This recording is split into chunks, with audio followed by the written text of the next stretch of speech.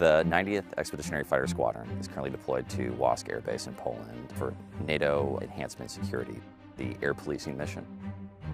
This looks like integrating with foreign countries all over Europe and validating our tactics, techniques, and procedures that we train to at home in a deployed and forward-based environment.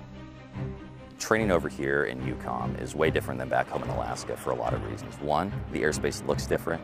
That new added difficulty, the language barrier, and just being in a new location definitely enhances our training.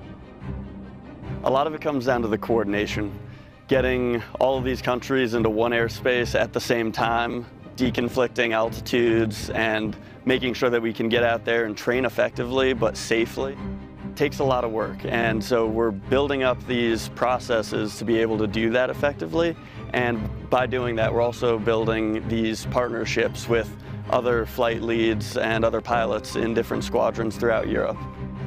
Raptor is the best aircraft to support this air shielding mission because we have one mission and that's air supremacy.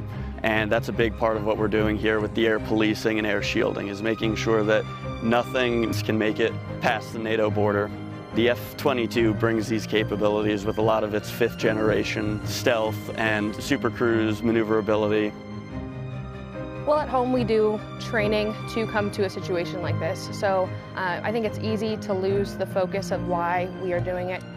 Here they can see we are in a location that we're trying to protect and they can see a real mission and understand this is how it really works if we're moving at a faster pace and they get really, really proficient at being able to do their job quickly, correctly every single time.